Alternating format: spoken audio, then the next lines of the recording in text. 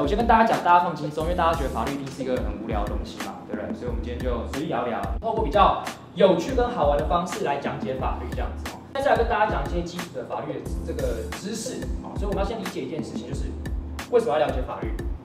教大家一个确保一个大家一个好方法，就是现代科技当中一个非常非常重要的事情，就是对话。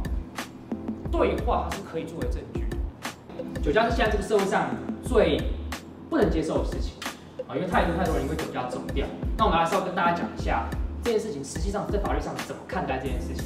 基本上你酒驾有三件事情，你一定要驾驶行为，你要有交通工具，跟你要喝酒。所以拜托大家就是，真的只要喝酒，就真的就真的就搭检车。所以缓刑跟缓起诉都有这样效果。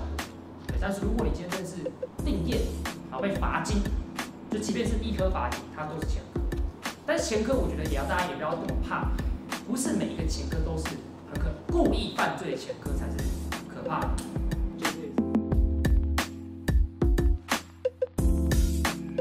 那我问大家，你被骂，你心里感觉怎么样？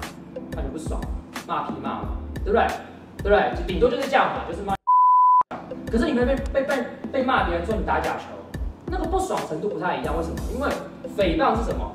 简单来讲，它就是足以毁损他的名誉的事。哦，所以我跟大家讲，来，一个是人格，一个是名誉，所以对事不对人，就会尽量不会涉嫌犯罪，这大家一定要注意到。